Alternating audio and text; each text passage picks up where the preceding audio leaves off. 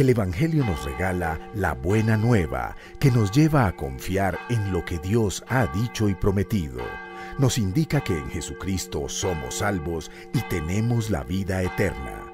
El Centro de Comunicaciones de la Diócesis de Armenia les anuncia y predica el Evangelio de hoy.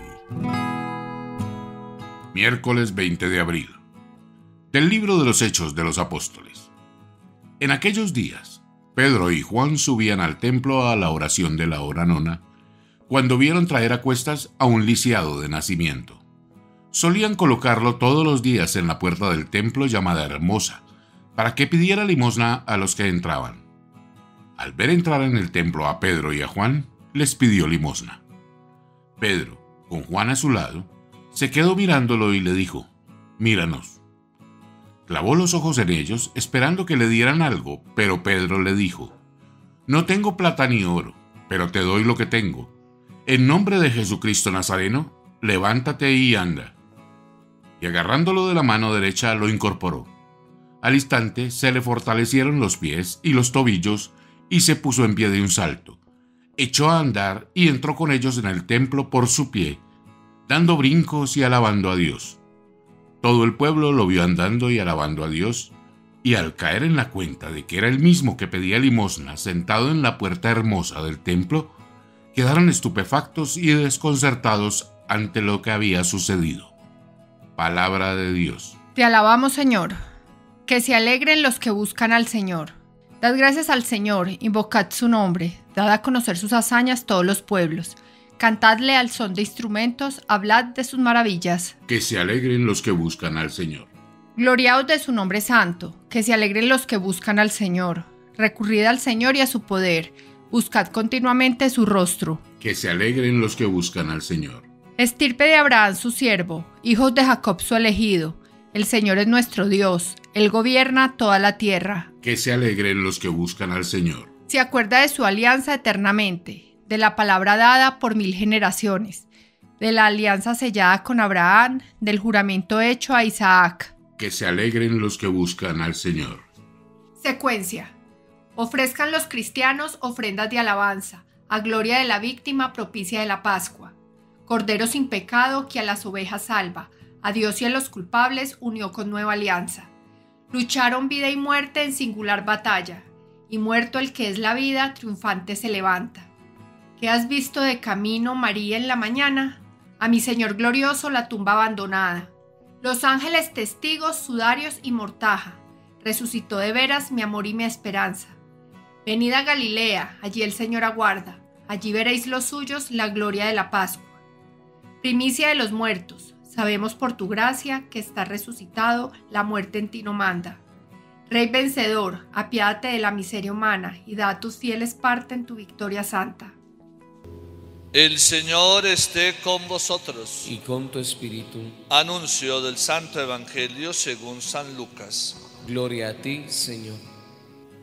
Aquel mismo día, el primero de la semana, dos de los discípulos de Jesús iban caminando a una aldea llamada Emaús, distante de Jerusalén unos 60 estadios. Iban conversando entre ellos de todo lo que había sucedido.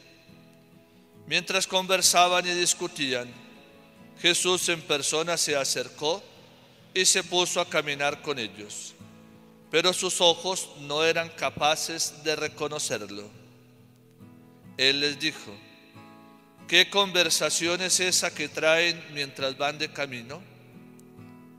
Ellos se detuvieron con aire entristecido y uno de ellos, llamado Cleofás, le dijo, ¿acaso eres tú el único forastero en Jerusalén que no sabes lo que ha pasado allí estos días? Él les dijo, ¿qué? Ellos le contestaron, lo de Jesús el Nazareno que fue un profeta poderoso en obras y palabras ante Dios y ante todo el pueblo. Cómo lo entregaron los sumos sacerdotes y nuestros jefes para que lo condenaran a muerte y lo crucificaron. Nosotros esperábamos que Él iba a liberar a Israel, pero con todo esto ya estamos en el tercer día desde que esto sucedió. Es verdad que algunas mujeres de nuestro grupo nos han sobresaltado pues habiendo ido muy de mañana al sepulcro y no habiendo encontrado su cuerpo, vinieron diciendo que incluso habían visto una aparición de ángeles que dicen que está vivo. Algunos de los nuestros fueron también al sepulcro y lo encontraron como habían dicho las mujeres, pero a él no lo vieron. Entonces él les dijo, qué necios y torpes son para creer lo que dijeron los profetas. ¿No era necesario que el Mesías padeciera esto y entrara así en su gloria? Y comenzando por Moisés y siguiendo por todos los profetas, les explicó lo que se refería a él en todas las escrituras. Llegaron cerca de la aldea donde iban y él simuló que iba a seguir caminando, pero ellos lo apremiaron diciendo, quédate con nosotros porque atardece y el día va de caída. Y entró para quedarse con ellos. Sentado a la mesa con ellos tomó el pan, pronunció la bendición, lo partió y se lo iba dando. A ellos se les abrieron los ojos y lo reconocieron, pero él desapareció de su vista. Y se dijeron el uno al otro, ¿acaso no ardía nuestro corazón mientras nos hablaba por el camino y nos explicaba las escrituras? Y levantándose en aquel momento, regresaron a Jerusalén, donde encontraron reunidos a los once con sus compañeros que decían, era verdad, ha resucitado el Señor y se ha parecido a Simón. Y ellos contaron lo que les había pasado por el camino y cómo lo habían reconocido al partir el pan. Palabra del Señor. Avanzando con la iglesia en esta octava de Pascua, continuamos con el libro de los Hechos de los Apóstoles. Hoy llegamos al capítulo tercero Vemos a Pedro y a Juan en una actitud muy particular. Siguen fieles a sus oraciones en el templo de Jerusalén. Todos los residentes de Jerusalén tenían que frecuentar el templo al menos una vez al día para hacer las oraciones que mandaba la ley de Moisés. Pedro y Juan, fieles a esa tradición antigua de orar en el templo, ya entendían que era el templo de Yahvé, pero también el templo de su Señor Jesucristo se dirigen al templo para hacer la oración en la hora de la tarde, hacia las 3 de la tarde. Y como todavía sucede hoy en muchos de nuestros templos, en la entrada regularmente se sentaban algunos enfermos y mendigos a pedir, a mover la conciencia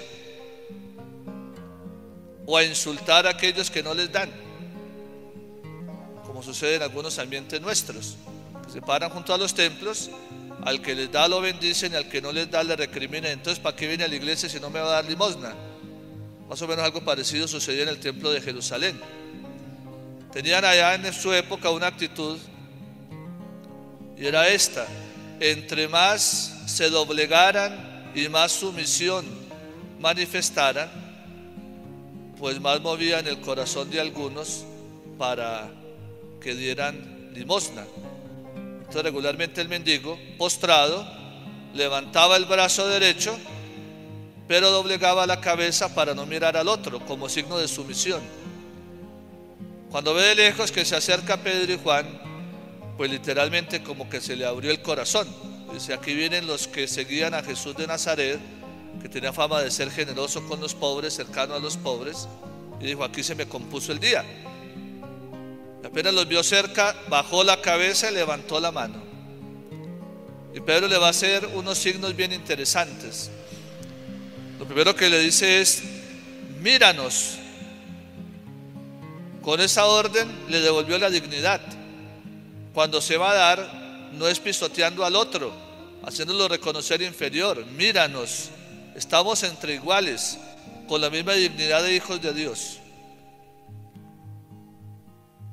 El hombre los mira y viene la gran enseñanza de Pedro, que seguramente en un primer momento lo desinfló.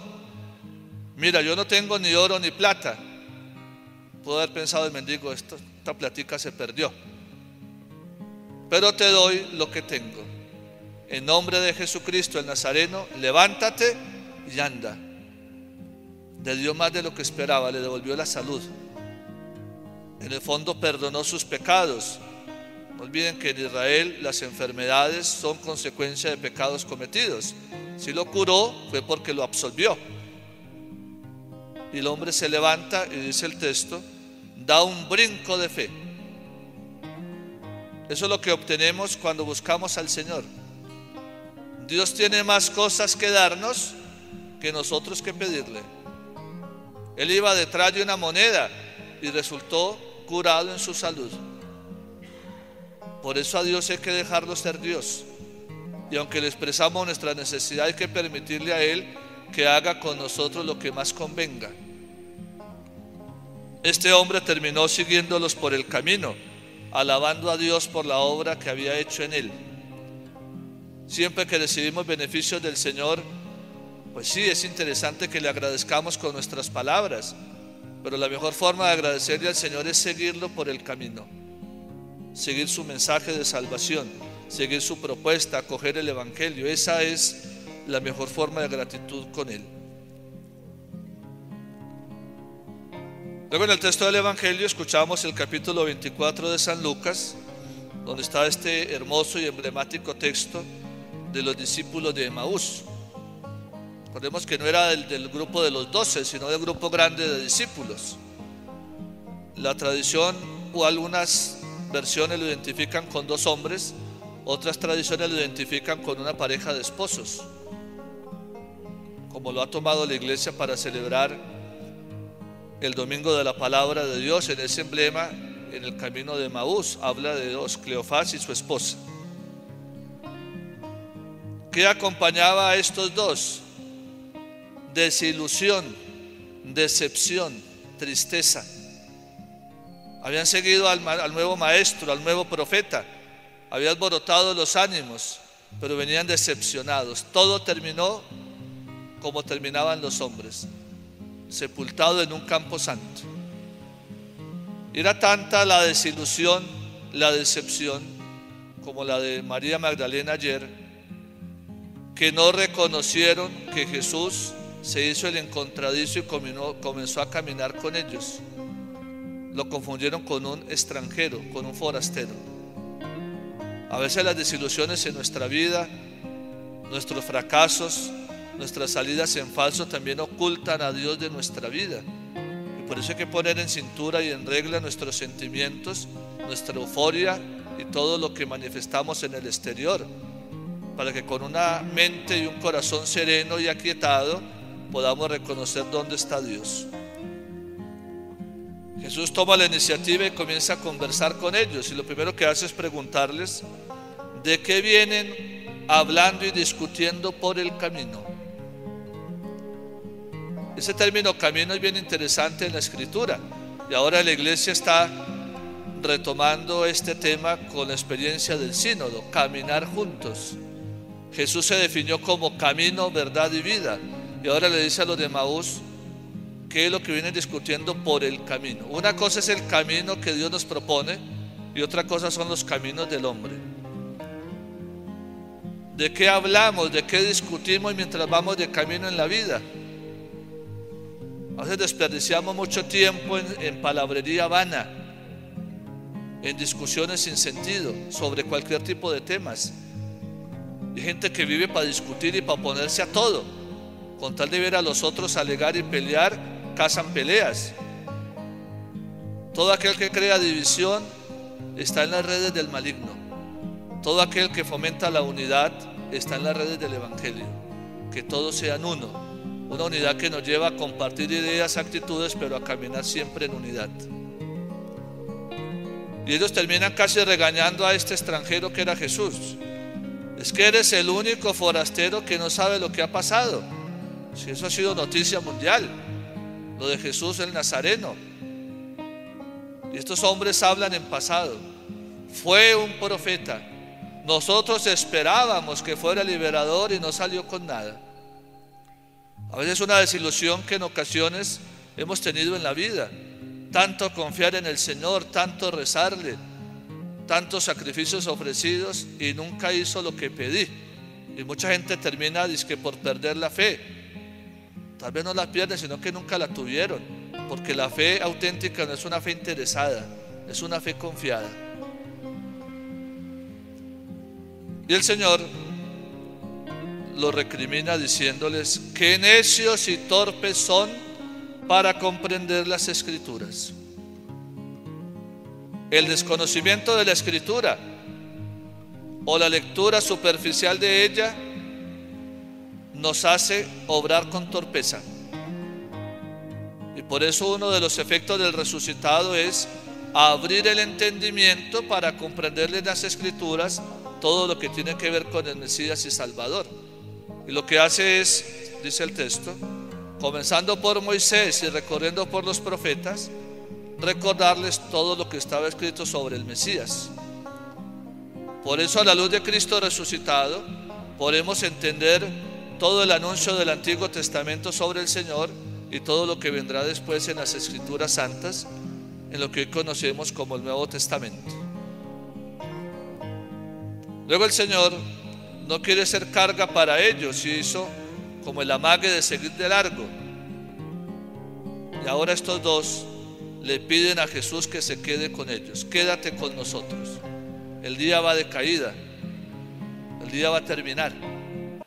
Esa es una hermosísima oración que hay que hacerle al Señor al final de cada día y al final de nuestra vida. Señor, quédate a nuestro lado, no te vayas. Quédate aquí para estar seguros y serenos quédate con nosotros por siempre. Bajo esa invitación, que tiene que ser iniciativa de la persona, querer estar con Él, el Señor repite los signos de la última cena. Toma el pan, bendice, agradece al Padre Celestial, lo parte y en ese momento dice, se les abrieron los ojos y lo reconocieron. Y una vez que lo reconocen al partir el pan, Jesús desaparece. Bien interesante esa alusión. El que es capaz de reconocer a Jesús en la fracción del pan que es la Eucaristía, no tiene necesidad que el Señor se le aparezca en persona, ya está allí presente en forma real. Toda la experiencia de este camino de Maús lo recorre la iglesia todos los días cuando celebramos la Eucaristía. Exactamente el mismo camino. Venimos de la vida a veces desencantados, aburridos, tristes, abatidos. Venimos al encuentro del Señor que nos confronta con nuestros pecados, por eso pedimos perdón al comenzar la misa. Luego nos habla en las escrituras, en la palabra de Dios, en la palabra del Señor. Y luego pasamos al banquete, exactamente lo que hizo con los de Maús. Pero también tenemos que hacer la parte final de los discípulos de Maús. Una vez que lo reconocen, pues no se quedaron contentos y ya regresaron a Jerusalén para anunciar, para contar lo que les había sucedido. Por eso la misa, la Eucaristía, siempre nos compromete a hablar del Señor, a ser voceros de la obra de Dios en nuestra vida. Que este tiempo de Pascua nos ayude a todos para aferrarnos más a la Escritura, para crecer en fidelidad, en amor, en entrega a la Eucaristía como el sacramento que hace presente al Señor diariamente en nuestra vida, en la iglesia y en el mundo.